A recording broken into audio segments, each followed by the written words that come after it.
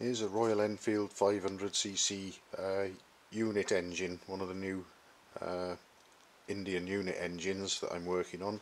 I've already fitted a performance camshaft kit to it and um, I've also set the piston to the underside of the cylinder head squish clearance which I've done and checked and measured by using these strips of solder on top of the piston um, I shortened the cylinder barrel on this one. Uh, it turns out by 0.8 of a millimetre to get the millimetre thick solder after going over top dead centre which indicates we've got a millimetre of squish clearance over the top of the piston at top dead centre so that's where we want it to be.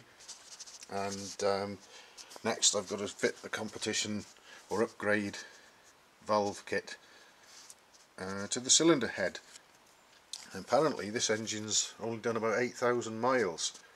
And an engine that I worked on like this before didn't really need the new valve guides which can be quite tricky and fiddly to fit in these. But this one does need them. And in fact if I get the old exhaust valve here and put it in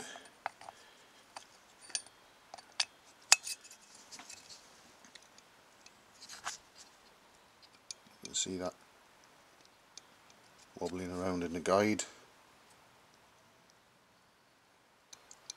That play is uh, rather excessive and surprisingly large for 8,000 miles. So I'm going to fit the new guides to this cylinder head. The exhaust one at least because even with the new exhaust valve in that guide just get it in there. Let's see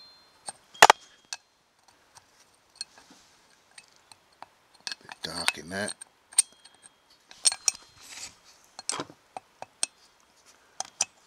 we go. Took a while got it in. That's the new valve in that guide.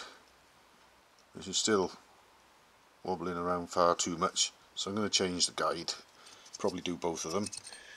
And the other thing I've got to watch out for when I change the guides is unlike many other cylinder heads the guides for these don't have a shoulder on them to bottom out on when they're driven in. So you've got to make sure that you don't go too far.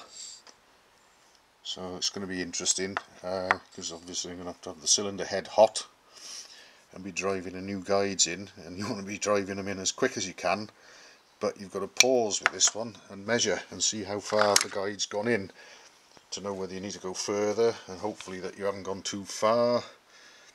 And just for reference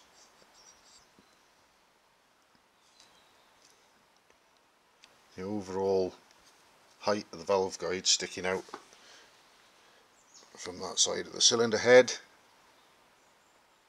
seems to be 15 millimeters. So that's what I want to aim for when I drive the replacement in. So the next job is to get the gas torch and start heating the cylinder head knock these old valve guides out and put the new ones in.